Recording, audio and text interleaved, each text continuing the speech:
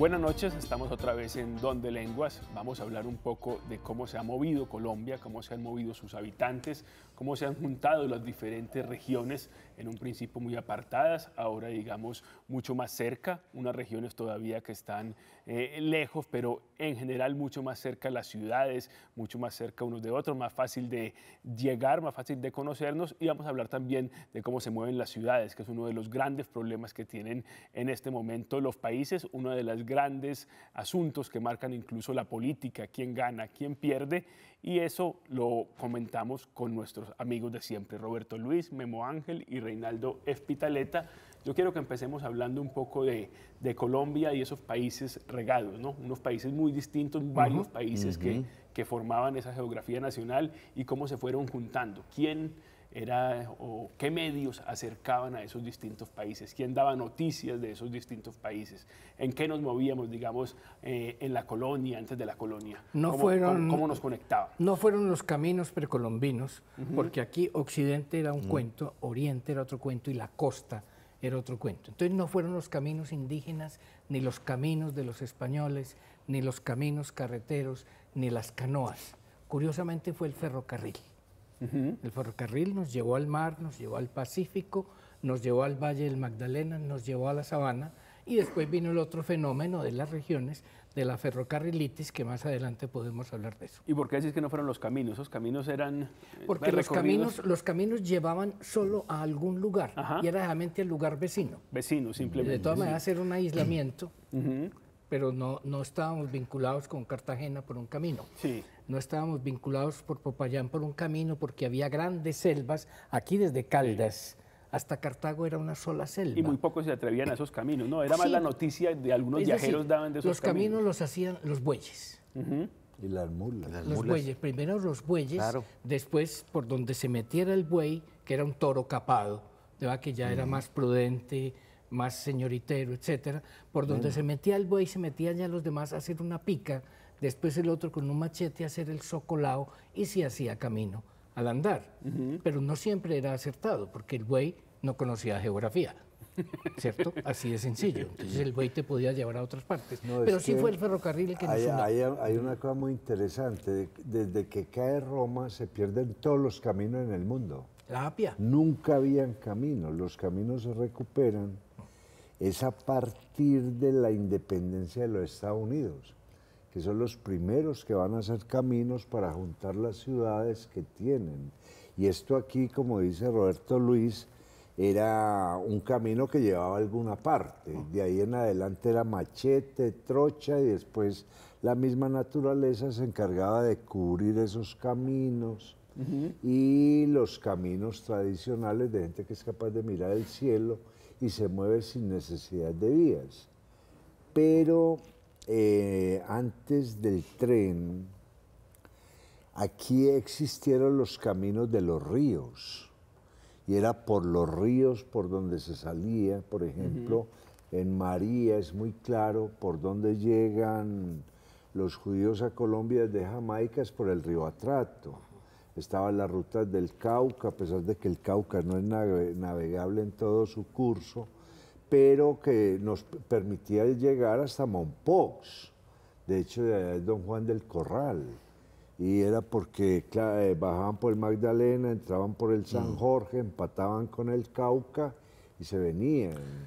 Y cuenta don Germán Arciniegas, en la conquista del Dorado, la vía que era el río Magdalena que era una enorme vía y ahí sí cogían los caminos a Bogotá, los caminos a, Nare, incluso en, el amor en los tiempos del cólera, eh, el barco para en Puerto Nare y ahí se bajan los antioqueños. En la angostura. Que vienen, ¿cierto? Que vienen para Envigado, que vienen para Sabaneta, etcétera, etcétera.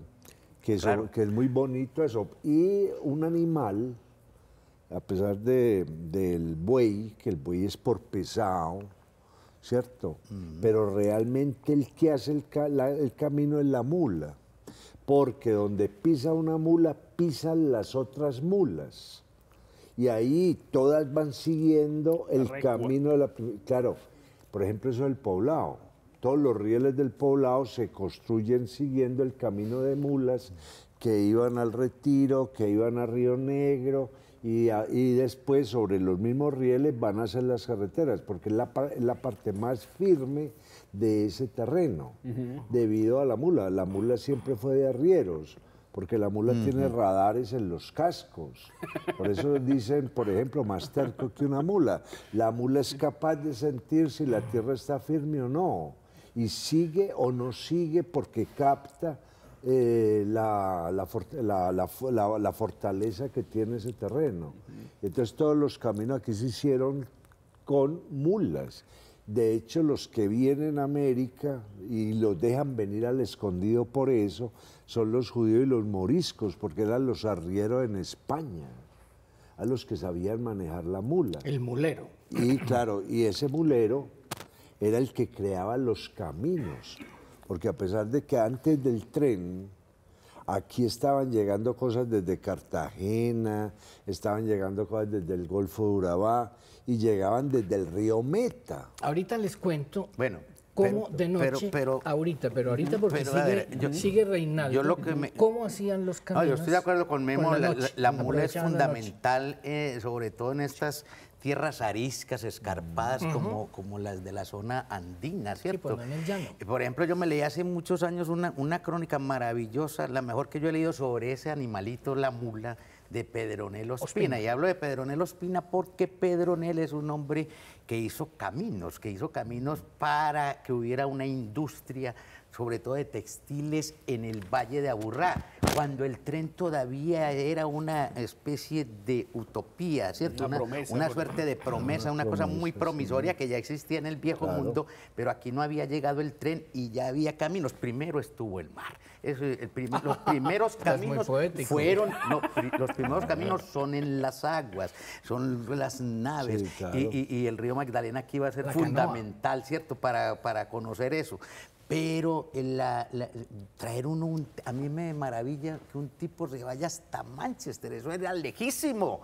Ahora todo el mundo conoce a Manchester por la cosa del fútbol, pero Manchester era una, la, zona industrial de Inglaterra y este señor Pedronel Ospina, hijo de Mariano, ¿cierto? Y de toda esta gente eh, que son unos pioneros en eso, se va hasta allá a traer telares. ¿Por dónde los trajo? Primero por el mar, llegan después al río Magdalena, el río Grande de la Magdalena, llegan a, islitas, a Puerto, Puerto Nare o Puerto Berrío y todo eso, y se vienen con las mulas. Eso era una maravilla porque las mulas traían las mulas traían licores, las mulas traían jabón, traían telas y trajeron esos aparatos para, para fabricar telas. Reinaldo, pero es que las mulas tampoco sabían geografía. No, te voy a decir cómo era el asunto. Hablo del camino, del camino por ejemplo, a Mariquita, eh, eh, el camino de, Río Negro y Sonsón a Mariquita.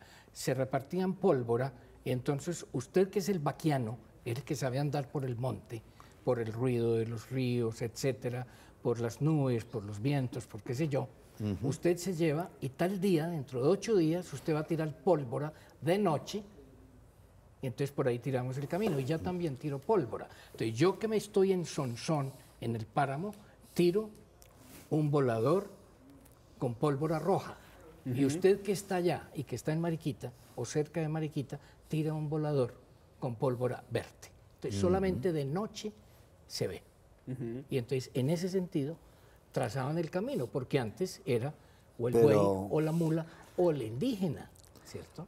bueno, pero, había una serie de caminos, no, no podemos, que en, en lo prehispánico eh, la gente se movilizaba. Y hay una cosa que... al lomo humano, ¿no? Al lomo humano. Entonces, para, para viajeros, el paso del Quindío que tiene todo ese... Los cargueros, y el silletero, los cargueros y silleteros incluso hacían, eso está documentado, hacían movimientos para que no hubiera transporte en mula ni transporte en otro en barco, porque les iban a quitar el trabajo. Es increíble que una persona que tiene que cargar a otra se oponga a que haya, a que haya unas nuevas formas de, de, de locomoción, porque claro, dependía de su vida, de su existencia.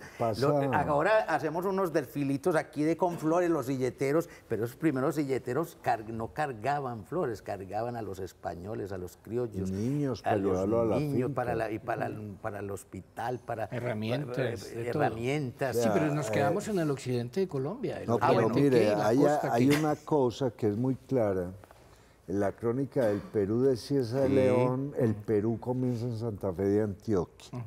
Eso quiere decir que había una influencia tan poderosa del imperio inca que se caracterizó por hacer unos caminos espectaculares para caminarlos a pie.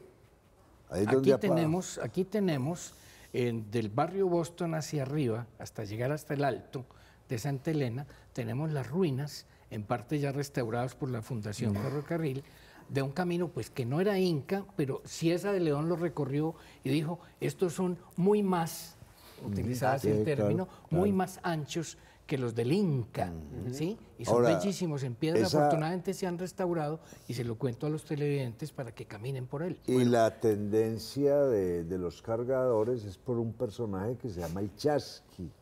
Claro, pero eso es de los incas, que era el, correo de los incas. Pero también eran cargadores. Y los mejores cuentos de ese silletero que no es tradicional en Antioquia, lo cuenta doña Sofía Ospina de Navarro, en la abuela cuenta. Cumplían con la tarea de llevarlo, eh, por ejemplo, alguien vivía en Medellín, tenía la finca en la estrella, y para no llevar los niños sobre las mulas llorando, los llevaban dormidos atrás.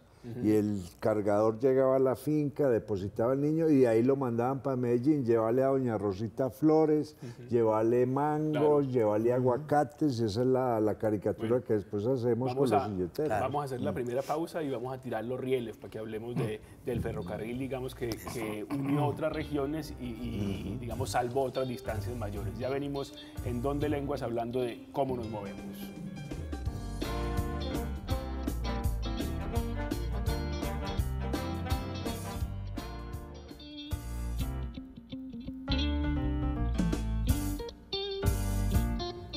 Volvemos en Donde Lenguas, estamos hablando de medios de transporte, ya hablamos de los bueyes, de las mulas, de los cargueros humanos, de los caminos eh, reales y de los caminos prehispánicos y vamos a intentar eh, avanzar un poco y hablar de los trenes, de esa utopía que decía Reinaldo ahorita, de esa promesa, de eso que marcó buena parte de los esfuerzos de Colombia durante mucho tiempo. Claro. Eh, hablemos un poco de auge y caída de los ferrocarriles, de que se ha escrito y se ha dicho de todo, ¿no? Sí, yo y de la corrupción que empieza ahí. No, y de la corrupción que es la que acaba con el ferrocarril. Pero digamos que la gran, una de las grandes, en los transportes ha habido grandes revoluciones. Una revolución en el siglo XIX en el mundo es la creación de la máquina de vapor, del ferrocarril eso transforma el lenguaje, transforma los ritmos de trabajo, tras, lo transforma todo. Pero, en, Colombia, ¿cuál fue, digamos, esa, primera, esa primera ruta? La que ferrocarril de Panamá. El, ferrocarril de Panamá, en Panamá fue la primera parte donde Pero te voy a decir ferrocarril por Para solucionar un problema gravísimo de carácter internacional, un problema geopolítico. Teníamos grandes imperios ya formados, el imperio inglés, el imperio francés un poco en decadencia, etcétera eh, eh, los prusianos con ganas de armar el suyo. Entonces Panamá se obviamente esto era América para los americanos. Entonces, eh, ¿qué hacemos con Panamá? El general Mosquera tomó una decisión sabia. Se nos van a tomar Panamá, entonces lo que podemos hacer es un tren. Obviamente lo hacen los americanos, ¿cierto? Y ese ferrocarril se demoró solamente cinco años y cambió la economía de América, de Norteamérica sobre todo porque al mismo tiempo habían descubierto las minas de oro en California y por allí se hizo la colonización del oeste norteamericano. No son mm. aquellas carretas que atacan los indios, sino por territorio de la Nueva Granada, que no éramos Colombia. Ese fue un ferrocarril exitoso que se hizo en poco tiempo. Era la única empresa colombiana pública que ha mm. dejado utilidades. ¿Que iba de dónde a dónde? Eh, arrancada en Aspinwall para los norteamericanos, Colón para nosotros mm. y terminada en Ciudad de Panamá. Bueno, pero, todavía existe. Eso sí, no es la única empresa pública que da utilidades, porque Ecopetrol da utilidades. No, y Telecom da, utilidades. En el siglo XIX, yo soy del ah, siglo XIX. Bueno, no, pero, pero digamos ahora que Roberto toca lo de la fiebre del oro en los Estados Unidos, más o menos en 1850, entonces oeste, California, eh, los, los Ángeles, San Francisco, que es una ciudad producto de la fiebre del oro, sin los ferrocarriles hubiera era imposible hacer la conquista de esa parte, porque claro, estaba el caballo, estaban otro tipo, las diligencias con los caballos, que eso porque la India formaba parte del imperio inglés, claro, sin los ferrocarriles. Sin los ferrocarriles no había imperio, ¿cierto? Y en Colombia el ferrocarril, no, ya no el de Panamá, sino el, ferrocarril que diseña, por ejemplo, aquí que lo piensa Pedro Justo Berrío, que hay que hablar de ese señor antioqueño, que, tenía, que era un visionario, un conservador con una visión de de esas ideas de progreso.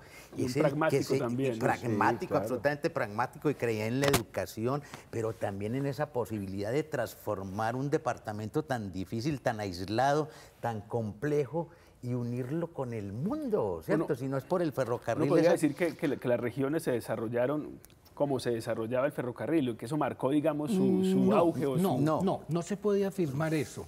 Eh, eh, el trazado del ferrocarril por regiones, por, espacios selváticos, formó después regiones. Por ejemplo, el Valle del Nus. Claro. ¿Cierto? A, medida que iba, que iban o que venía la carrilera, ¿cierto? En esa misma medida se iba tumbando el monte y se iban haciendo grandes arcos, grandes haciendas ganaderas. Entonces surge la región del Nus. Pero, pero es, es, es contemporánea con el trazado del ferrocarril, no hacia hacia el suroeste, que es la salida pues al Pacífico, que es un ferrocarril ya privado, ya no es del Estado soberano, sino de, accionistas particulares. Eh, lo que pasa es que hay un paso muy grande. Cuando llega el tren del terrateniente al selvateniente.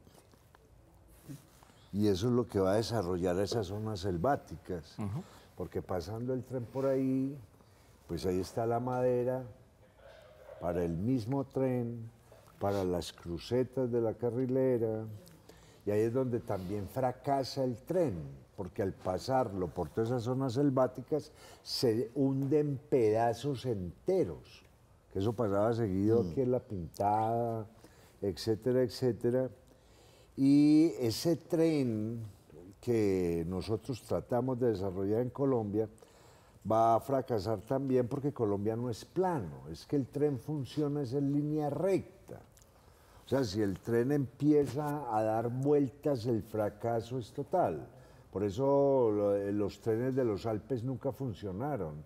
Nunca funcionó un tren en los Pirineos pero lo llevaron a Manizales y lo llevaron a Bogotá. No, no, claro, pero en una lentitud tremenda.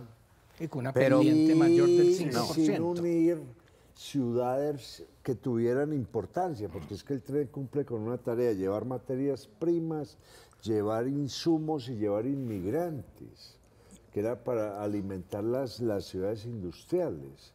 Entonces, cuando, por eso decía yo, cuando aquí se diseña el tren, ya es un principio de corrupción, de principio a fin, porque nunca se pensó desarrollar el país debido precisamente a los accidentes geográficos que tenía Colombia. Yo pienso distinto. Que, no pensaba desarrollar el país, sino qué, sino negocios no, propios. esto exigiría unos túneles como los que le negaron a Alejandro López. Y ahí se ve, simplemente porque era un ingeniero morenito, chiquito. Pero, no, no, no claro. Pero mira, mira, mira, ese ferrocarril, que se va a llamar el ferrocarril de Antioquia, eh, hubo unas peleas políticas tremendas por el trazado, porque el pasar el tren no solo por la selva, sino digamos por esa parte del oriente que, es la, que era en ese momento la región más importante de Antioquia, era valorizar las tierras. Hay unas peleas desde Santo Domingo, la tierra de Tomás Carrasquilla, los de Río Negro intervienen, los, de, eh, los del NUS, ¿cierto? Cisneros ni existía, es que eso no existía, y el tren va a hacer que aparezcan pequeñas aldeas, pequeñas ciudades. Ahora estábamos hablando de, por ejemplo, de Grecia. Aparece Puerto Berrío, que eso no existía. Aparece Cisneros, que no existía. Aparece y aparece un avance en la ingeniería civil que gracias a, Alejandro López, que a fines del siglo XIX formula, esto es muy escarpado, es un relieve difícil, pero el tipo, los túneles, y el túnel de la quiebra lo diseña él como tesis de grado que no se la aceptan y que es apenas a partir de la década del 20 que se traza, que se... Sí, pero aquí hay que entender que una cosa son los ferrocarriles del siglo XIX ah, y otros los del siglo XX que se llamó el fenómeno de la, el de la departamentitis y el de la ferrocarrilitis. Cuando nos llega el dinero mm. por el robo de Panamá, esa indemnización se llamó Danza de los Millones porque cada región y cada político pedía ferrocarril para su territorio. Entonces eran pequeños. Hubo ferrocarril en Urabá. Sí, sí, claro. el puerto se llamaba Puerto César. Hasta hace unos 30 años todavía estaban por ahí los pedazos de los rieles. ¿Para sacar qué? Para sacar micos para sacar Tagua, que era lo que tenía Urabá en ese momento. Pues, entonces, entonces a eso se le llamó ferrocarrilitis porque era un sentimiento regional y cada uno pensaba que su región se iba a desarrollar. Bueno, ahora, ahora, se, pero, ahora, se, ha repetido en las ciudades con el Transmilenio. Bogotá hizo el suyo y todas las ciudades querían tener uno, ese era el gran invento. Y ahora pues fracasa en Pereira, en Cartagena, en, Bucaramanga. claro. Pero, se convirtió en un símbolo y todo el mundo quería tener el propio, ¿no? Sí, sí, pero el ferrocarril le crea una cultura. A mí me parece que hay una gran revolución mental no solo pues de infraestructura con el ferrocarril de Antioquia, sino toda una transformación de lenguajes. Por ahí llegan además las enfermedades, llegan las máquinas. El ferrocarril de carga es importantísimo y después el ferrocarril de pasajeros es una, es lo como dicen los muchachos, una elegancia, porque, claro, porque es que los tiempos cambian, ya puedo llegar más rápido y más barato. El ferrocarril es el transporte más barato que cualquier otro, incluso más que el de los barcos y por supuesto más que el del avión, que va a ser otra revolución, que tiene que ver con la danza de los millones que le toca pues, a don Marco Fidel Suárez, señor, que mete mucho de esos 25 millones de dólares en, em, infraestructura y aparece la aviación. Pero el ferrocarril... Eh, es una transformación de todo. Yo creo que es lamentable que nosotros hayamos perdido el ferrocarril de Antioquia por eso, por la corrupción, por una, por unas, no, no, aquí le dicen, no, eso es por los trabajos de los sindicatos, eso no, fue por los trabajos de los sindicatos. Es que el ferrocarril compitió consigo mismo. Pongo el ejemplo, me da mucha pereza hablar de Antioquia, pero el mismo ferrocarril patrocinó unas pequeñas carreteras ah, entre la estación del tren y las cabeceras municipales. Y en el mismo ferrocarril traían desarmados los carros y los camiones. que entonces la misma eh, los ferrocarriles acaban con la navegación fluvial, ¿cierto? Y las carreteras acaban en parte con los ferrocarriles. Vamos a eso pasa sino aquí, porque mira que en los Estados Unidos y en Europa conviven perfectamente las tractomulas, los carros, con el ferrocarril, con los aviones. Eso y con las mulas. Y con, ese tipo de mulas que ahora hablamos de, otro tipo de transporte de las mulas. No, vamos a hacer la pausa y yo creo que con eso está muy bien, para que cojamos carretera, para que dejemos la carretera y cojamos carretera. Seguimos en Donde Lenguas, ya venimos, estamos hablando de cómo nos movemos. Hablemos de la música carrilera.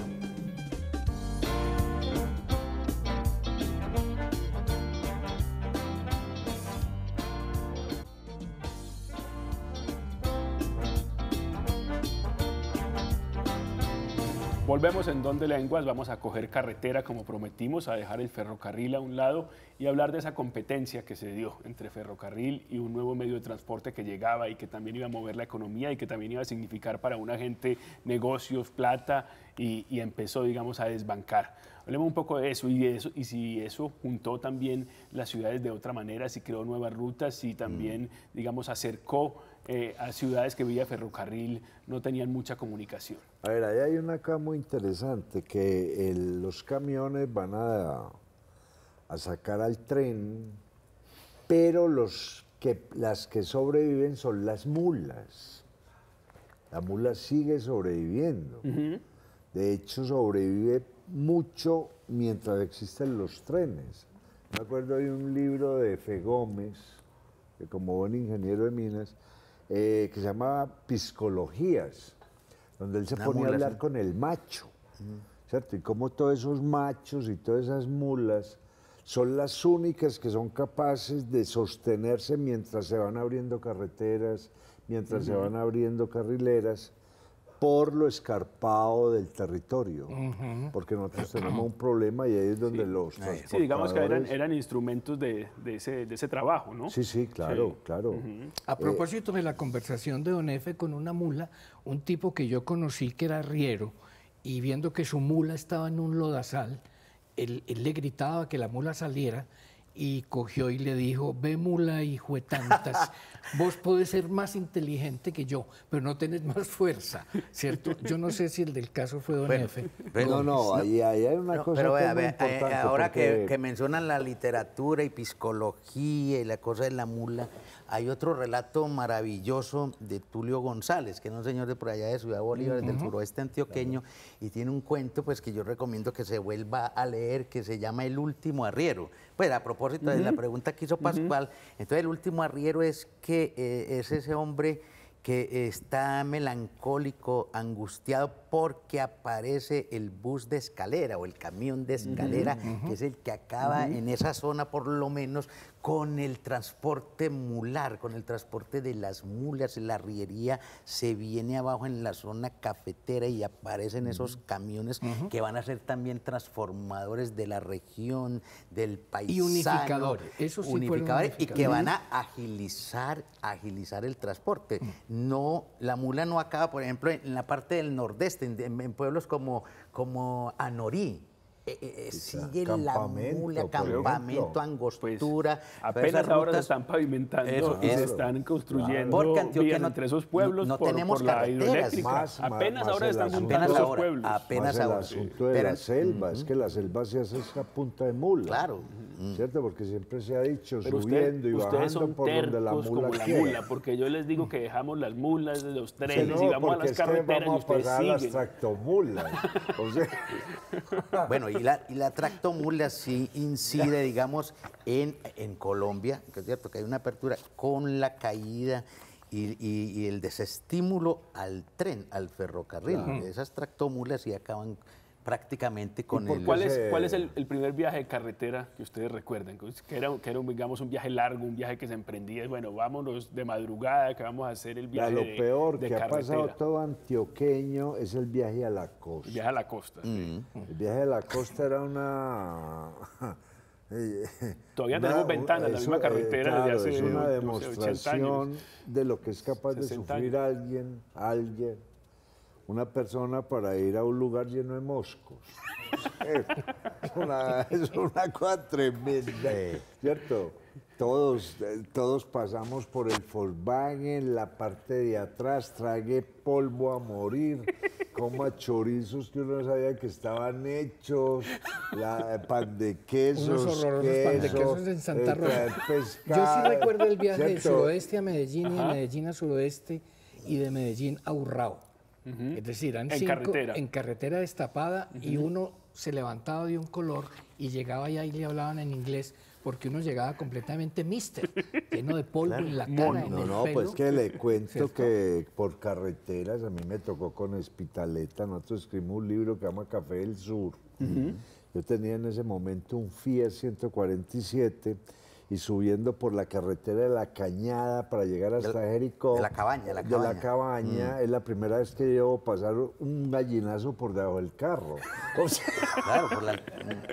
Eso se ganó el Premio Nacional de Ingeniería, es, la apertura de son 40 kilómetros de loco. Claro, es Correa. locos. Sí. Correa, sí. No, pero mire que eh, para ir a Río Negro por Santa Elena, eso era una tortura hace muchos años. Yo que iba a, que me llevaban como un castigo a, visitar a mi abuelo en, en, Río Negro y nos íbamos en esos camiones de escalera, las curvas, eso porque lo han rectificado, pero curvas y curvas y era el viaje eterno para ir aquí a, 30, 40 kilómetros. ¿Acaso está Río Negro? Y eso era una demora, eso había que llevar fiambre en esos camiones. No, y que este país lo hicieron. Porque es que aquí no hay carretera realmente. Los camioneros, es que los camioneros no solamente era el que manejaba, era el ayudante, pero tenían que llevar cadenas, picos, palas y eh, oraciones todas las que Una cosa interesante, mm. eh, eh, y no me regañe por devolverme, con los ferrocarriles, y es que los técnicos que tuvieron que traer incitaron a una serie de familias aquí a poner a estudiar a sus hijos en el exterior. Hablo, por ejemplo, mm. de, los Ospina, de unos claro. de unos Posada campesinos del poblado de pie descalzo. Tenían dinero con que mandar su hijo a Berkeley. y, y, estos hombres fundaron una escuela de minas con pensamiento matemático. Ingenieros con ingenio. Y estos hombres fueron los que trazaron los ferrocarriles, la navegación, eh, eh, trabajaron con la navegación a vapor, hicieron los primeros carreteros, las primeras carreteras, las primeras clases de mecánica para que el carro se varaba en cualquier lugar en cualquier vera, en cualquier lugar se varaba, y ahí estaba el mecánico, ya que es muy importante la creación de las escuelas de Reinaldo nos iba a explicar la, diferencia entre carretera y carretera. Ah, bueno, bueno hay una, el carretero eh, en, Cuba, por ejemplo, es distinto en, las Antillas, pero el carretero, por ejemplo, la calle de Carabobo, ¿cierto? Era un carretero que también se llamaba la calle del Llano. Hasta Barbosa. hasta Barbosa, pero la importancia de ese carretero era cumplir con unir la zona de la minería aurífera, de la minería del oro, con la villa de la Candelaria. Cuando, cuando se crea la Escuela de Minas en 1888, tal vez, si no estoy mal en la fecha, eh, y que después aparece un tipo que, que, más que los ospina y que esto va a transformar toda esa relación del, del, del, tiempo y de la productividad, que es Alejandro López, que no le hemos reconocido la inteligencia, claro, porque era medio negrito, entonces también, pero era una inteligencia, un tipo brillantísimo. Eh, la primera fábrica que se instala en el Valle de Aburrá es en Bello, aquí al norte, junto a la quebrada de la García, y ahí se abre no una carretera, sino un carretero, no para las mulas, sino para que pasen ya los primeros carros que llevan el algodón a esa fábrica. Carros sin gasolina. Carros sin, eso, claro. Porque eran carretas. Carretas. Y los llamaban wagen, wagen, y las hacían aquí en el centro de la ciudad, ¿cierto? Era para caballos. Y Por el bosque había una que Hoy nadie es capaz de hacer una correta como casi ningún muchachito es capaz de hacer una cometa. No, pero echan carreta que ah, Usted. Y, bueno, entonces esos, esos, carromatos que también le decían, esos carros de caballo, eh, eh, eh, había un señor, pues hablando de esa misma fábrica, Emilio Restrepo, alias Paila, y él no iba en esos carros, sino que él tenía unos, un, coche, un señor muy importante y prestante de dinero, un coche con el que se iba hasta Bello por ese carretero. que prestante, prestamista. A exhibirse, claro, era también un agiotista, desde luego. a exhibirse con caballos ingleses. Eso es una maravilla porque el tipo, además, era un conquistador. y son las mujeres que él tiene a su cargo las que le van a hacer un alzamiento en 1920, la primera huelga de muchachas en Bello. Eso es extraordinario. Llegan los camiones que van a juntar a Colombia pero también aquí llegan los autobuses que van a acabar con el tranvía. Hay que tener en cuenta que aquí hubo, a finales del siglo XIX, ya había un primer eh, vehículo eléctrico, ¿cierto? Aquí en Medellín.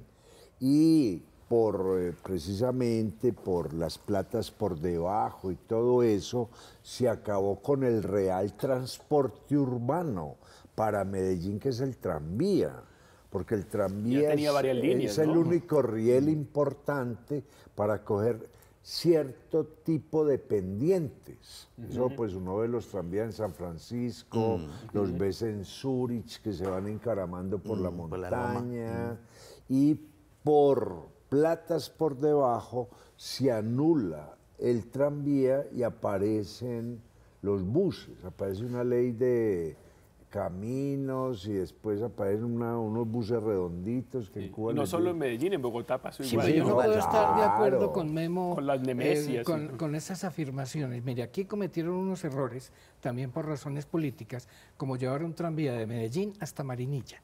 Claro. Por el barrio, Por, el barrio de Oriente Sí, barrio Santo Domingo Sabio, Ratón Pelao, pasaba por Guardia, llevaba Marinilla y, y, montaban Marinillo al día. Y se quebraron. Sí, ahora hicieron otro tranvía a Belén, por lo que hoy la calle 30, tampoco tenía mucho tráfico. El de la América, el de la América, ese sí dejaba resultados. Después lo reemplazaron, perdóname Memo, que ahí tengo que estar en desacuerdo, ya cuando vienen los buses eran los buses municipales. O sea, tranvía municipal y bus municipal, que la gente tiraba las monedas, y tratando de educarnos a nosotros, en el sentido de que no había que robar y no había que colarse, sino que la gente la tiraba en, una coca y la coca tenía un mecanismo para leer la cantidad de monedas. usted, está justificando la falta de visión que ha caracterizado a todos los gobernantes de Medellín. Aquí las cosas tienen que llenar ya. Nueva York extiende primero el metro y a las orillas del metro desarrolla la ciudad. Entonces aquí, si no les funciona en un mes, nos quebramos. O sea, es una falta de visión impresionante de planeación. Bueno, ¿cierto? Vamos a terminar la, ya, ya, vamos a terminar la pelea en el, en el último, en el último, round. último round, terminamos la pelea y, no, y ya llegamos donde era. Salimos de la carretera, ahora llegamos a las ciudades. Vamos a hablar de cómo nos movemos ahora en las ciudades y de cómo se mueven las ciudades colombianas donde se venden 300 mil carros al año y donde hay el doble de motos que carros ya en Colombia. Ya venimos para que termine la pelea y para que hablemos de la ciudad.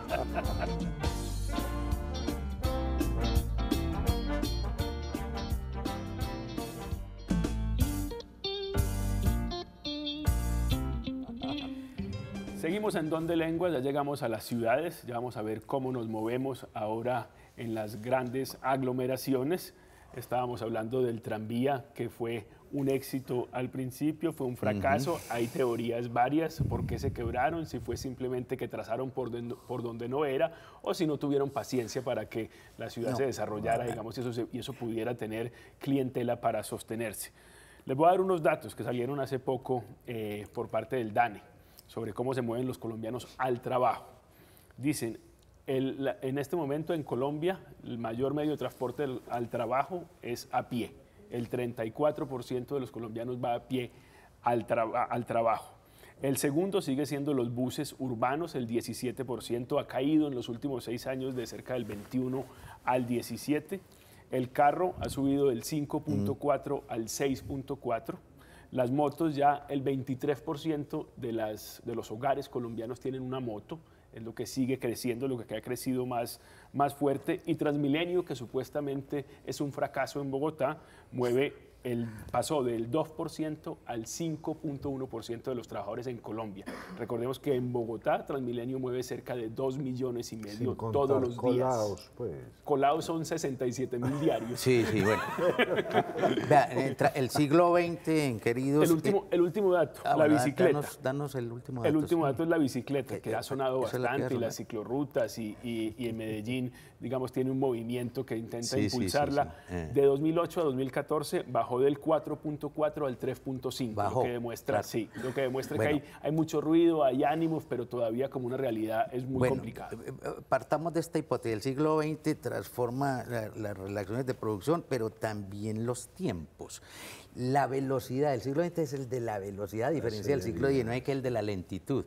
El tranvía no es para, para animar un poquito la pelea que, del, que tenían ellos, el tranvía pierde velocidad en Medellín pierde velocidad. E, es decir, yo a pie y el tranvía de Buenos Aires, el que el tranvía de Ayacucho, el viejo tranvía de Ayacucho, yo a pie llegaba primero. Salíamos los dos, yo a pie y el tranvía y llegaba primero el que iba a pie. Entonces, eso es un cuento con la velocidad, aparecen esos buses, buses municipales, desde luego, que el bus municipal que desde Manrique Azul debió por, por la 45 y, le daba la vuelta. porque la gente no había La vuelta a Medellín. No, porque era el gobierno Espina Pérez, hombre. No, no, eran de color. Los Mira, el Valle de Aburrá, lo de la bicicleta me llama mucho la atención porque la bicicleta antes se usaba mucho para los trabajadores. Estoy hablando de un pueblo como Bello, donde había tres o cuatro fábricas, los talleres del ferrocarril, Pantes, Tejidos Panamericanos y Fabricato. Y todos los trabajadores, que era casi toda la gente que vivía en Bello, se movilizaban en bicicleta, en bicicletas inglesas, la, la Hoover y la, la Philips. y, y, cierto, la Humber era la, esa, pues, es la Humber y, la, y otras de esas. Eh, la, bueno, en fin, todas eran inglesas. Después aparece una industria de la bicicleta colombiana de Medellín, la, la, la Monarch, la, la Monaret, y toda esa gente se movilizaba mm. en bicicleta. Eso era una, una maravilla. ¿Y la bicicleta Osito con doble T? Claro, y, después vienen unas bicicletas italianas y entonces uno dice, ¿qué pasó ahora? Eh, Medellín es una ciudad que en la planeación la han pensado solamente para los automotores. Eh, nunca hubo senderos para caminarla, nunca hubo nada para los peatones, nunca hubo nada atractivo para que la gente también en las partes planas, y Medellín tiene muchas partes planas abajo, para que la gente ande. No hay nada que uno lo, seduzca. Pero así, así todo tenemos una ventaja frente a ciudades eh, colombianas, que es sin duda el metro y sin duda cuando viene gente aquí de, visita de Cali, de Bogotá, de Barranquilla, todo el mundo dice, no, ustedes nos llevan una ventaja claro, gigante. pero el metro ya, había sido pensado desde mucho antes, digamos en el plan piloto de los años 50 ya el metro estaba ahí, el, metro que es, un, que es un transporte del siglo XIX, pues sabemos que el de, los, de los primeros siglos XIX, el metro, ese nosotros apenas nos llegan en los 80. no solo a Medellín, sino a todo el Valle de Aburrá. El metro ha sido lo más importante que ha ocurrido en los últimos 50 años. Lo que pasa es que es un metro mal hecho, no es el metro ramificado, telaraña, ¿cierto? Es un metro longitudinal. mal hecho no, digamos que se hizo, se hace lo, que, se puede, ¿no? Lo que el metro tiene un problema. de la otra manera. el metro tiene un problema en cualquier parte del mundo y es que solamente se mueve en terreno plano, el metro no sube, por eso aparece el tranvía. Y por eso tenemos metrocables. Claro, y por eso se desarrolla el metrocable, que es una cosa espectacular. Pero uno de los problemas de movilidad lo da, por ejemplo, en Medellín, el hecho de que la mayoría de la gente tiene casa propia. Es que en la mayoría de las ciudades del mundo la gente no tiene casa propia, alquila para crear hijos, solamente ya en la vejez empiezan a comprar como para tener un sitio donde morir. Entonces ese hecho de que la gente tenga su casa propia ya lo obliga a utilizar transporte todo el rato. Entonces aparecen los buses, aparece pues lo que me acuerdo de los Lelitier que hablaban de los colectiveros, una de las demostraciones de que el corazón de Jesús sirve es que no se estrellen más buses, ¿cierto? De, y la Virgen del Carmen. Sí, sí, claro, porque eso se vuelve una locura, no hemos podido desarrollar el, transporte por la derecha, ¿cierto? Eh, incluso dicen, eh, mm, las vías son las del Estado, es que los buses los puede ir comprando cualquiera. En Europa los, buses no son del Estado, es de la gente, los compran. Y los trenes son del Estado. Ah, hay gente que compra trenes. Ahora, lo que el Estado le da es la vía, le da las estaciones y usted me paga. Entonces aparece ese primer problema de que la gente pero, pero ese, eso que decís ha creado las mafias del, del, mm. transporte en las ah, ciudades. en muchas ciudades en Europa también existen y en Bogotá. Ah, no, es que ahí no, no vamos a sacar limpio a nadie. Pero sí se puede organizar un buen transporte.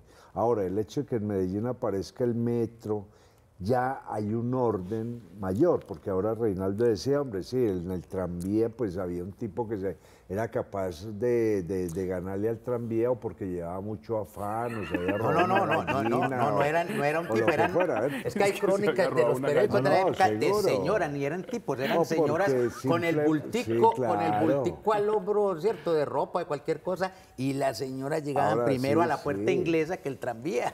Oye, hay una era la cosa. Las, motos yo creo que son una de, de las revoluciones de ahora, y se habla mucho contra, contra las motos, y, y de alguna manera las motos han empezado a decirle a la gente, vea, los, em, los empleos en Colombia, cerca del 8 o 9% de los empleos en Colombia responden directa o indirectamente a las motos. Y una familia que compra una moto se puede ahorrar al mes claro. 200 eh, mil pesos. Es que ahí viene uno de los fracasos del transporte entre nosotros. La gente compra una moto porque es más barato que pagar los pasajes en bus. Y lleva a la señora y sigue para el trabajo. Eso por un lado.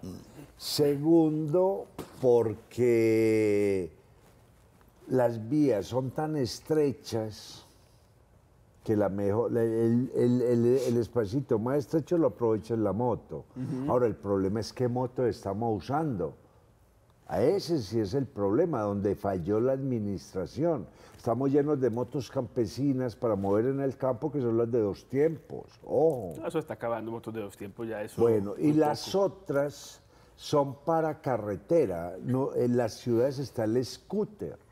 Aquí hubo un tiempo donde se trató de imponer una real moto urbana. Ya estamos llenos de era urbanas. Las lambretas, las vespas. Sí, la italiana. Usted pues, lo ve por millones. Eh, hay que ver lo que es Vía Veneto en Roma mm. a las cinco y media de la tarde. Eso es un mar de. ¿Y las AKT no te parecen urbanas? Sí, sí, claro. Pero las otras no. Y ahí es donde viene el problema. Por eso los hospitales se han visto la obligación de abrir pabellones para las fracturas, porque yo mismo soy la protección, yo soy el chasis. Y ahí es donde se equivocó la administración. Las motos no son urbanas. Sí, pero eso no es la administración. Digamos que uno no puede obligar a la gente cuál es la moto que va a comprar. No, no, sí, claro, claro que sí, indiscutiblemente. ¿Sí? Ah, yo no puedo comprar aquí un, un, un Mirage para aterrizarlo en... ¿Vos crees que hay un decreto que le diga a la gente qué moto tiene que comprar? Sí, claro, está en París, por ejemplo, está en, Londres, en Alemania, o sea, claro. Y fuera de eso hay vías especializadas para las motos, para las ciclas. No, por eso les digo, es que en Medellín no estuvo pensada sino para los carros. La moto es el transporte ideal, el transporte más rápido, el transporte más barato, pero aquí en medio de ese caos y de esa de esa cosa, de, ese barullo, de, los, de, los, de esa revoltura, las motos no tienen ni siquiera posibilidades de nada.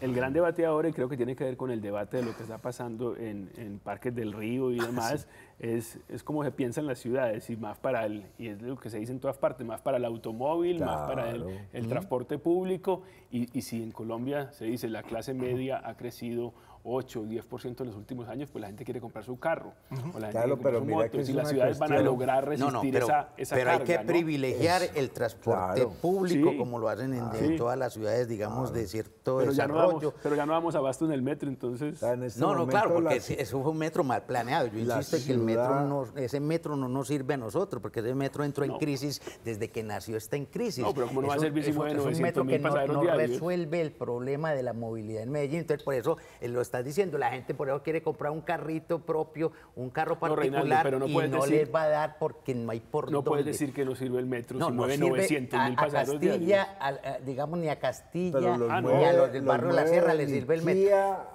a Itagüí. Mueve una mano de obra de norte a sur. En las estaciones centrales a la hora pico, olvídese lo que pasó. no, no, que tienen líos y que no resuelve ah, todo, el, todo el problema de transporte en Medellín, por supuesto hay, que no. Hay otro problema muy grave. Mientras las ciudades en el mundo se van vaciando de automóviles, en este momento la que más ha sacado automóviles es París. Privilegiaron la bicicleta, si usted maneja bicicleta le vamos a pagar ¿cierto? Para estimularlo. Hamburgo está sacando los carros. Ni París ni Hamburgo tienen lomas. ¿Ah? Ese es el otro libro. Y aquí tenemos el otro asunto que es, ya, somos con, ya, no somos urbe solamente, sino con urbe. Conurbados. Tenemos, estamos conurbados. y por otro lado tenemos el gran problema de las jurisdicciones. El alcalde de Medellín manda apenas hasta la quebrada La Madera. Ya para adelante manda el alcalde Bello. ¿Cierto? En el sector que llamamos el poblado, la mitad pertenece a Medellín y la otra mitad pertenece a Envigado, que es otro alcalde, otra planeación, ¿cierto? De que esa es también otra dificultad. Bueno, ustedes tuvieron la pelea del tranvía, nosotros la del metro creo que y salimos vivos. y salimos no, no, vivos. Es que hay que tener en cuenta que por el, caos de la movilidad nos mantenemos peleando. Sí no y, creo que y creo que esto da esta discusión sobre cómo nos movemos en Medellín da, para un da para un programa completo y en algún momento lo podemos pensar pero por ahora se acabó el tiempo en Donde Lenguas. Este fue nuestro programa de cómo nos movemos. Pasamos por los bueyes por las mulas por los trenes por el tranvía por el metro y vamos a pie. Buenas noches muchas gracias.